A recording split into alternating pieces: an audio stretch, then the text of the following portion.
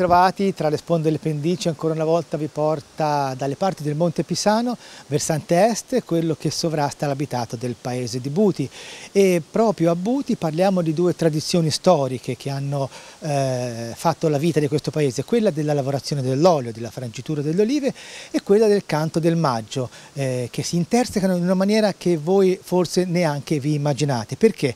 Lo andremo a capire tra poco con i nostri ospiti, vi anticipo solo che spesso i contadini, e i pastori erano proprio gli autori dei canti del maggio.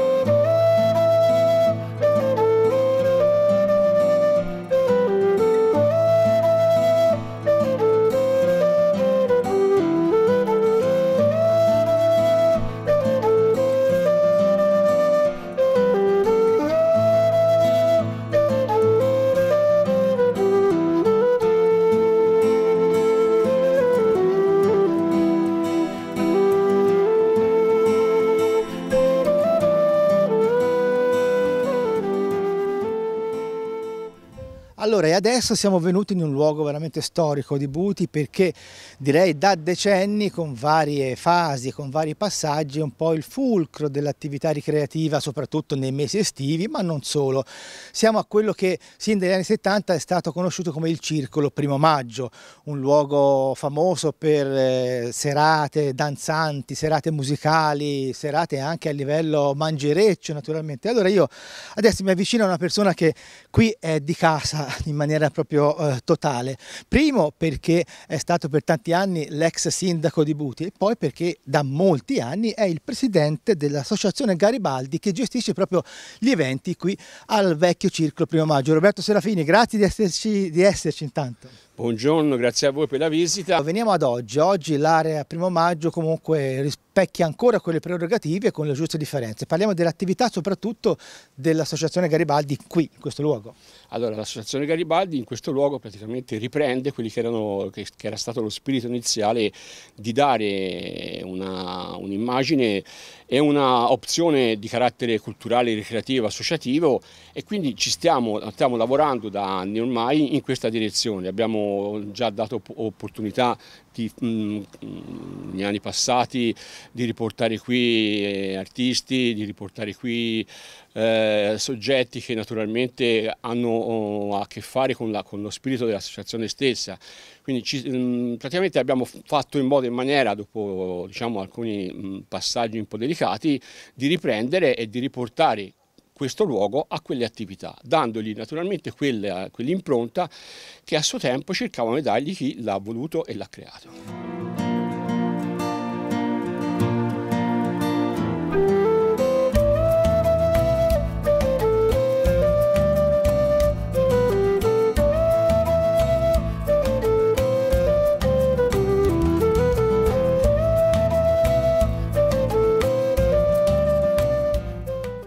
Scendendo la rampa che porta al nucleo storico di Buti, Casteltonini, andiamo adesso ad occuparci di un aspetto davvero importante, quello che è legato all'interno del frantoio Rossoni in via Paolo da Buti.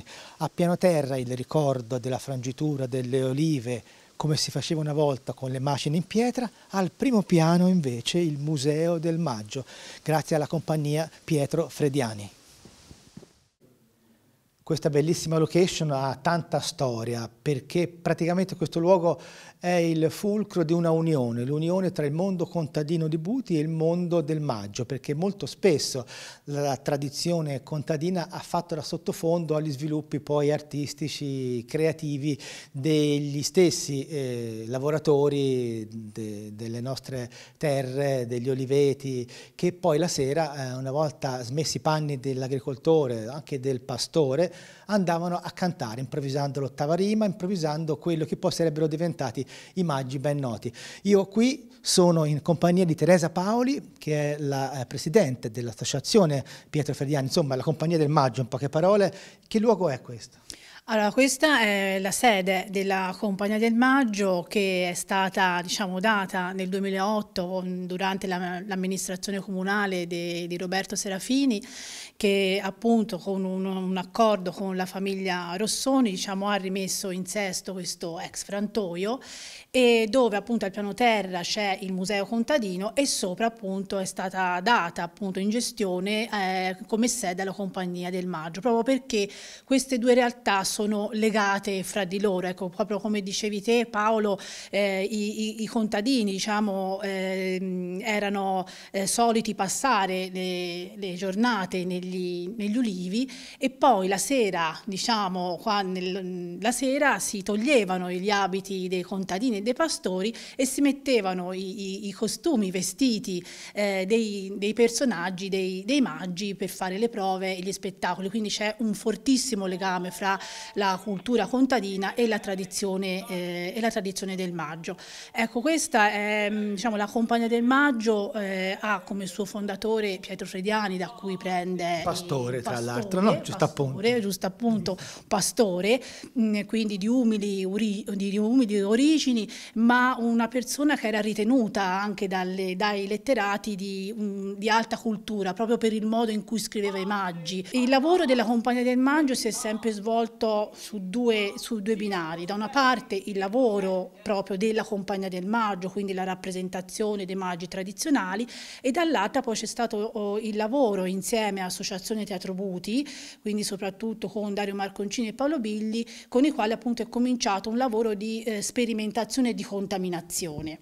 Eh, L'attività poi della Compagnia del Maggio è andata avanti eh, negli anni, poi c'è stato un momento di eh, lieve assopimento dell'attività ma dovuta alle vicissitudini anche umane, perché la Compagnia del Maggio comunque fanno parte tante persone, e l'attività poi è ripresa nel 2021 eh, quando eh, abbiamo pensato di eh, riorganizzare dopo molti anni un convegno proprio dedicato al, al poeta Nello Landi, che era un cosiddetto omaggiante a 360 gradi, no? oltre a cantare il maggio, era un poeta, era un improvvisatore e attraverso questa rassegna che per noi è stata fondamentale abbiamo potuto recuperare eh, i rapporti sia con le istituzioni, quindi con la Regione Toscana, eh, con, le, con, le, varie università, quindi di Pisa, Firenze e di Siena, ma la cosa fondamentale è stata riprendere i rapporti con i gruppi eh, del maggio della, della Toscana.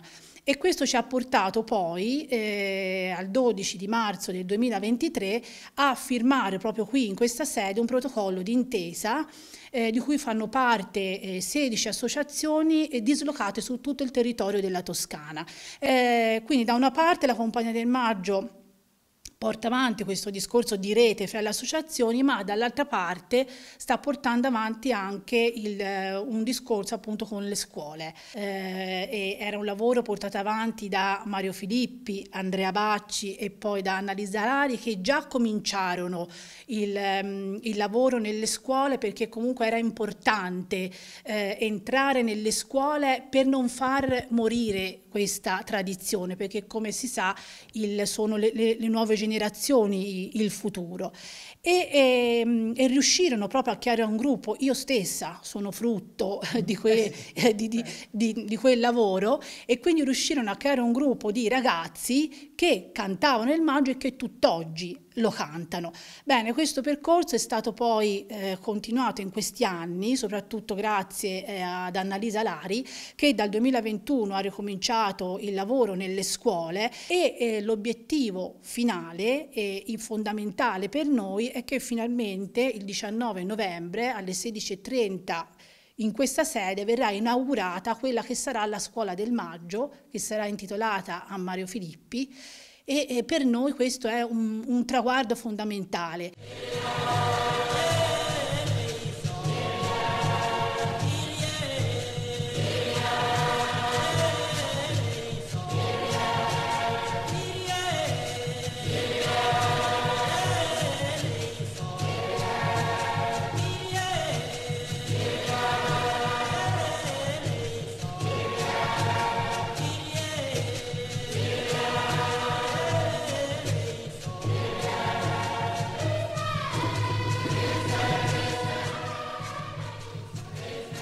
Proprio adesso all'interno del frantoio Rossoni, che poi andremo a vedere eh, meglio, andiamo a conoscere il presidente dell'associazione Teatro Buti, Andrea Bacci, che da una vita ricopre questo incarico e quindi chi meglio di lui potrà parlarci del maggio, delle rappresentazioni storiche del maggio in quel piccolo gioiello che è il Teatro di Bartolo di Buti. Buongiorno Andrea e grazie per averci accolti in questo luogo meraviglioso.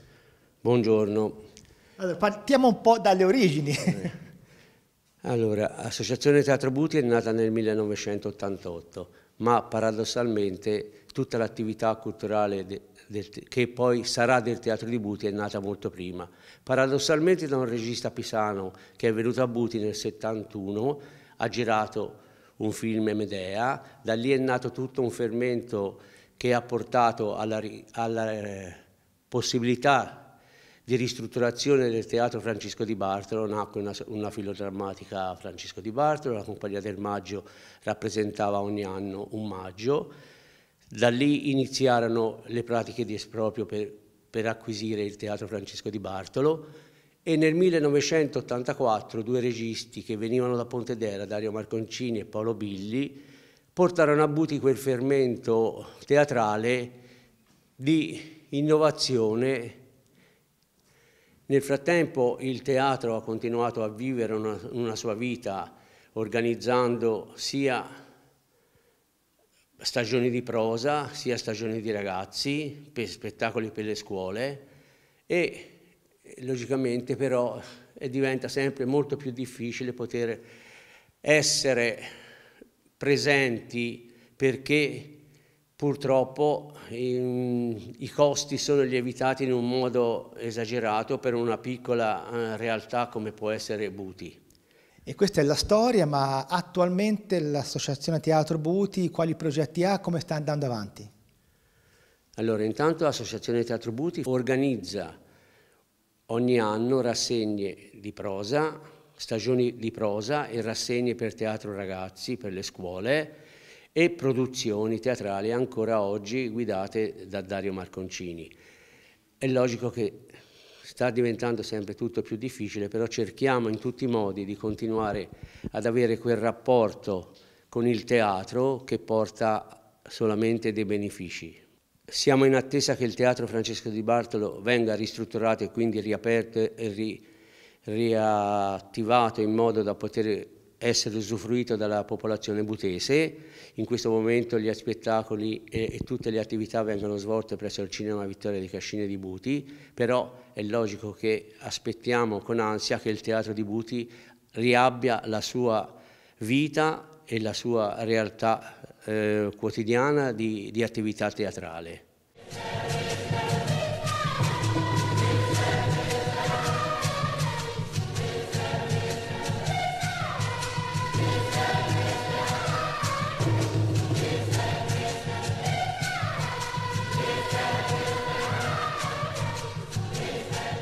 Allora, adesso siamo tornati al primo piano del Frantoio Rossoni perché ora c'è una sorpresa.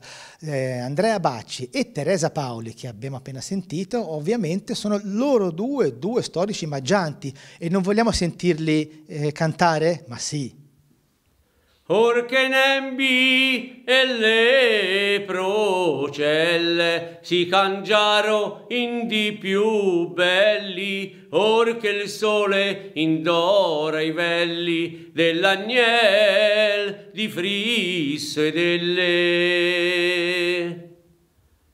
della barbara cantere gli infausti amori, le sciagure e i lunghi errori che le fe crudele rea.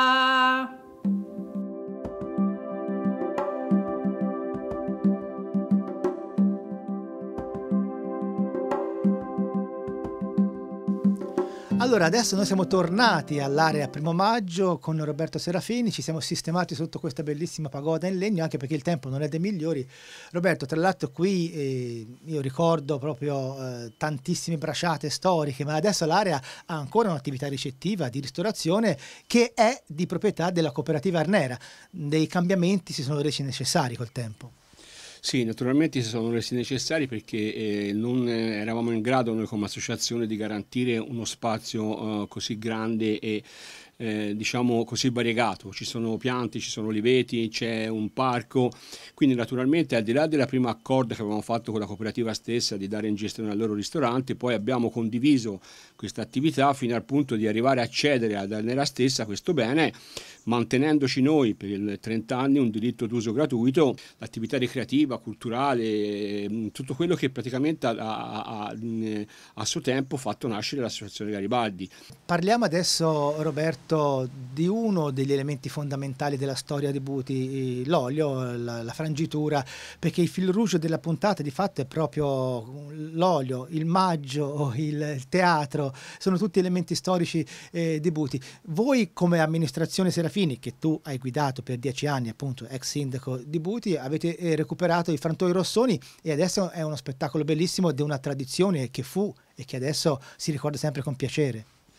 Sì, in effetti noi come amministrazione um, facciamo quella scelta perché la ritenevamo importante, importante per quanto riguarda ciò che rappresentava per il territorio. Quindi questa, um, questa, volontà di garantire perlomeno a memoria o a conoscenza delle nostre attività passate, quella di garantire un luogo dove si ricordasse quella che era l'attività di fatica e nello stesso momento ricreare all'interno quello che poi quella civiltà contadina ha fatto eh, ancora eh, diciamo oh, tanto per Buti eh, per la sua attività legata alla, al maggio, all'ottava rima, quindi quel luogo per noi era fondamentale per, per due motivi. Per quanto riguarda l'olio, è logico che eh, la situazione non è tra le migliori, c'è una, una situazione diciamo, legata più prettamente alla, all'attività amatoriale.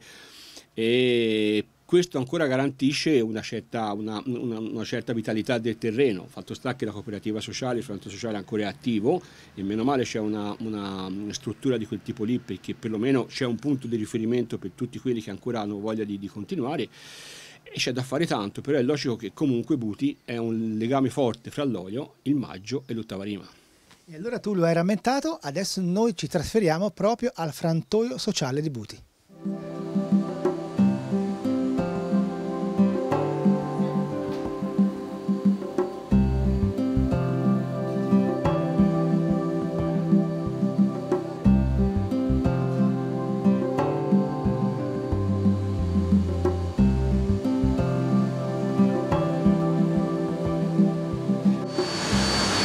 Provo a parlare ma mi sa che non si sente, eh? mi sa che non si sente.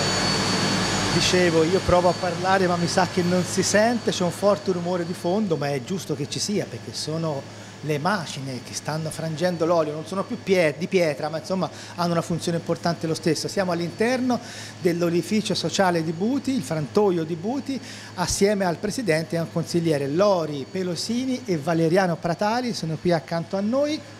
Come si svolge la frangitura dell'olio qui all'interno del frantoio sociale di Buti? Siamo in, eh, in, un tipo di lavorazione di spremitura a freddo, a freddo vuol dire che tutte eh, le fasi sono al di sotto di 27 gradi, poi potremo controllare, esiste un display che praticamente controlla scrupolosamente le fasi di lavorazione. Praticamente il socio eh, depone le olive all'interno di una tramoggia, lì viene identificato l'azienda, viene pesato automaticamente, dopodiché si passa a una prima fase di deramificazione e defoliazione che leva tutte le impurità delle olive, l'oliva passa nella lavatrice, dopodiché si passa al frangitore a martelli.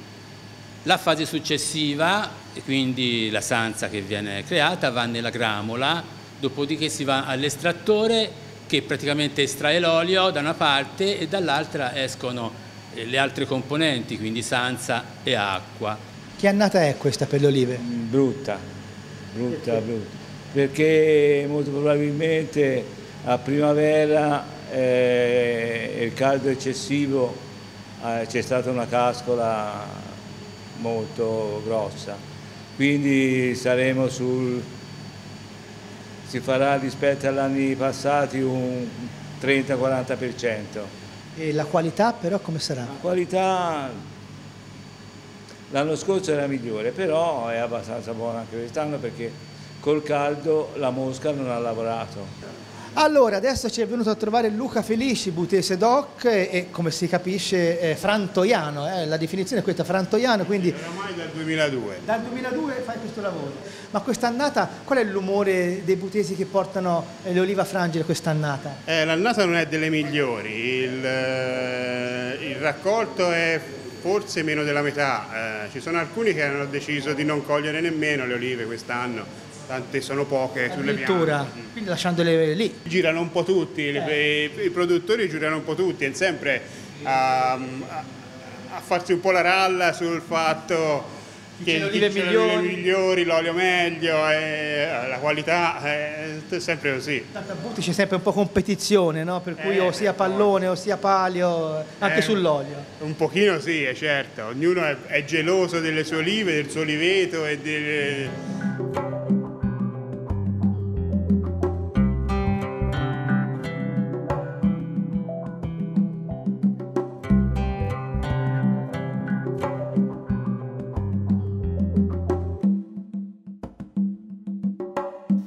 proposito di maggio e di ottava rima, alle nostre spalle l'imponente campanile di Buti, adesso abbiamo una, uh, una, chicca, un piccolo intervento di un musicista noto, pistoiese, toscano, che riscopre con la sua attività da decenni tradizioni popolari della nostra regione, Maurizio Geri da Ponte Petri, che ha cantato al Teatro di Buti, che ha conosciuto il grande Nello Landi. Beh, allora abbiamo due eh, ottave tratte da una sua canzone che lui ci vuole dedicare alla della nostra trasmissione e vuol dedicare anche un breve ma intenso ricordo a Nello Landi. Poi noi, potere delle immagini che vanno oltre il tempo, andremo a sentire lo stesso Nello Landi nel ricordo di una sua bellissima poesia dedicata al suo paese natio.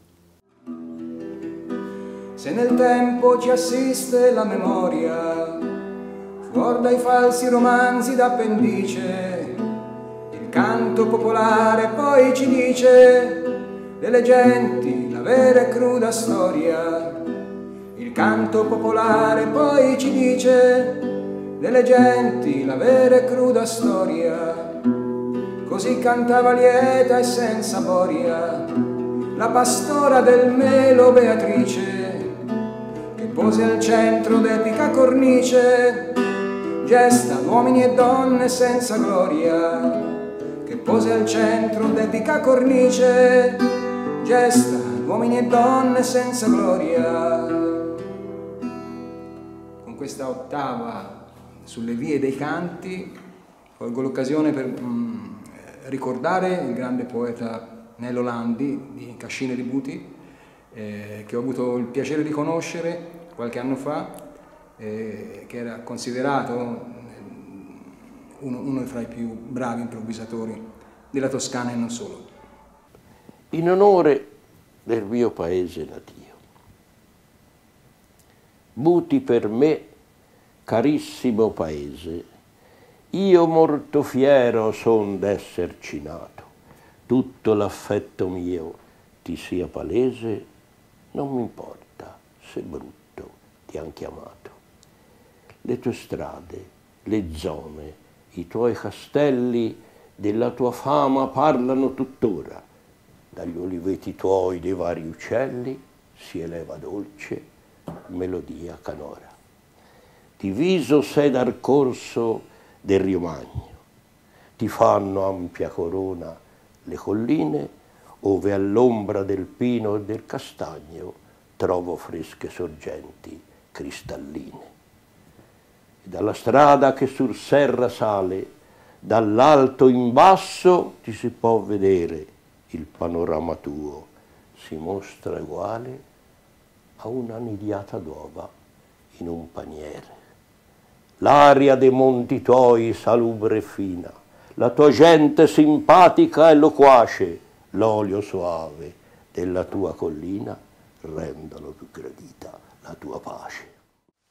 Anche il tempo ci dice che dobbiamo smettere perché comincia a piovere, però abbiamo giusto in tempo terminato la nostra puntata di Tra le sponde e le pendici dedicata a Buti, dedicata al maggio, dedicata all'olio, dedicata al teatro con la collaborazione di Michele Genovesi dietro la telecamera. Io vi ringrazio e speriamo che sia, come dice il detto, tuona anche, eh, trasmissione bagnata, trasmissione fortunata. Ciao, alla prossima!